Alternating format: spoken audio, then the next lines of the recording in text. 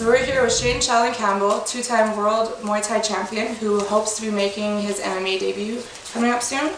Um, why don't you start at the beginning and give us a little idea about yourself, how it all started? Yeah, I'm, I'm pretty young still, 23, two-time world champion though, and uh, fought across the world. I'm, I'm hoping to make an MMA debut. I've, I've been lined up for a few fights, uh, a few here in Edmonton and a few across Canada as well. A few backouts. I'm starting to get more and more anxious. Uh, training just the same either way. Alright, so how did it all start? Were you bullied in school or how'd you get into martial arts? Martial arts? Um, no, my friend had started with uh, with Iron Tiger before I did, and uh, being a best friend and someone I Out of hung out- Ontario, right? Yeah, in Ontario, and being my best friend, someone I hang out with every day. What else am I gonna do, right? He had his first fight, and I uh, I wanted to hang out with him all the time, and he's training every day.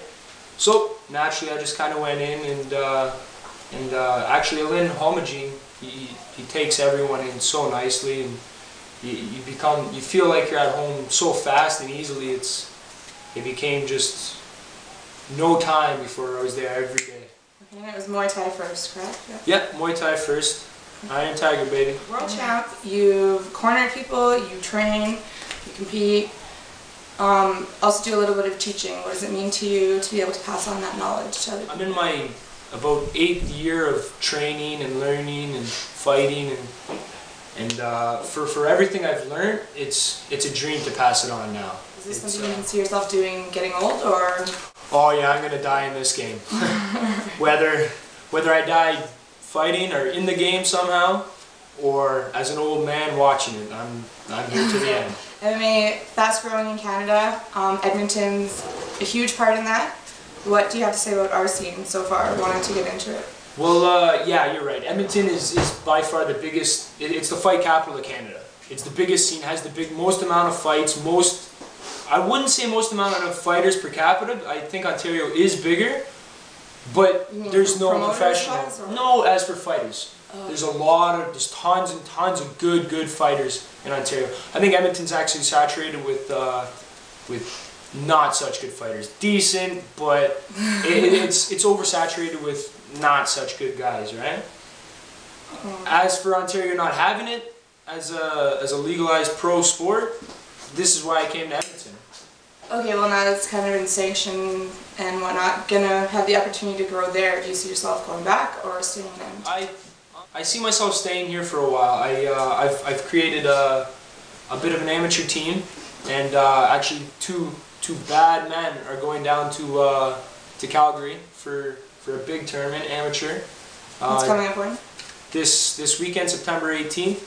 Jamie Gifford and Sean Whitehall Watch out for that. represent. Alright, um, advice for noobs. Now, your, your boys that you just talked about, Jamie and Sean, they, uh, they're new to it, obviously. Um, first fights, or they've never competed amateur? heavy? three and one with uh, with two knockouts, and uh, Sean I think has two fights. So uh, they're still young, still only a few fights, but uh, both of them train harder than almost anyone I know, and they actually been pushing me very very hard. So they've been helping me get ready for this uh, debut. Hopefully it's going to be very very soon. Say to them to get them prepped for it. Advice for, That's that's that's the one thing with in this sport when you have when you're surrounded by people that are as passionate as you are. I really don't have to push these boys at all. They're in the sport because they want to be and they know what it takes and they push themselves so hard. I really don't have to. I just I, I'm here to uh, to give them the technique and the proper guidance, and they actually push me. So that's that that makes my job very very easy. But as in for what to tell them, just pass on what I've learned. Alright, so in the event that they're successful, which we obviously hope for, um, they're gonna credit you. Who do you have to credit for your success thus far? Uh, get Arlene Homogene, my coach, manager, mentor. Um, I've tons and tons of other people aside from that. Many, many people surrounding me, fighters and non-fighters. I've, I've always been supported by, by all my friends and family, which I'm very grateful for, grateful for. And uh, but uh, most most importantly, my mom um, helped. She's put- Shoutouts to Shout out to mom. She she supported me the, the whole time, right from the very very beginning. Even when uh, there was there was, there was uh, being becoming a champion or a world champion wasn't in sight at all. She she still supported me. There's tons and tons of shout outs. Um, Master Kim from Blue Dragon. That's where I'm learning some sambo right now. I am a stand-up guy, but don't think my ground is. Uh, Yeah, Too shifty. Let's touch on that. How is uh, seeing you win a tournament on a video? Studied you, as a matter of fact. Um, what? Did, how hard have you been training on your ground game? Working on that a lot, or Well, I train everything anyway. Um, I've trained a little bit of of everything from uh, Kyokushin karate to Muay Thai to Jiu-Jitsu, Judo, Sambo. This is this is uh, MMA, which is mixed martial arts. Okay, and that consists of everything. So, and and with today, uh, with the internet and everything, you you can easily touch base on every sport. It's how much time and effort you put in, you're gonna get back. Alright, alright. Now, provided you get an opponent, which we hope for, It's only a um, matter of time.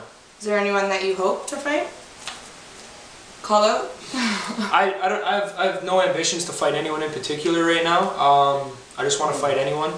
I just want to get a few fights under my belt. I've uh, I had a big injury about eight months ago, and eight months is the longest time I've not fought in about eight years. So I'm I'm so itching right now. I just want I just want to fight. I just please someone. Alright, so when you do, you does it depend on your opponent, whether you take it to the ground, you stand it up, you're just gonna play it by ear, throw in one of your flying knees? Well, well, I'm I'm a stand-up guy, and I'm I'm gonna keep it standing. There's there's, it's it's pretty black and white right there. I'm stand-up. I'm gonna keep it standing. I've, I'm I'm learning to, to stand up though if I do get taken down, and I'm learning to uh, to not be able to get taken down. but you're but you're not afraid if you do, right? You gotta, you gotta plan for that. Never afraid. You're supposed to fight at uh, Unified coming up on September 24th here. Um, that's up in the air right now. Is there any other promotion or anything else you'd like to get on the go, hopefully? Um, I, I, I was I was very happy to, to, to fight on Unified, but yeah, it's up in the air. Uh, there's still a couple weeks left, uh, under two, but if anyone takes it, I'm in, in like Flint. As for any other promotion, again, I, I really don't care. Uh, as long as the money's right and it, it's not a joke, then yeah, any promotion, anybody. And let's talk about your new talent here. Recently, you found out about uh, something, well, you said you've been dreaming about doing it for a few years now, and finally you did it, and it's on video. It? Tell us about it. Uh, I found out I can break a bat by kicking it. No, just one. Made it look real easy, I might add. Actually, it was a lot easier than what I what I had expected, and uh, soon enough, I plan to go for the record, Which, which is? 38 bats in 60 seconds.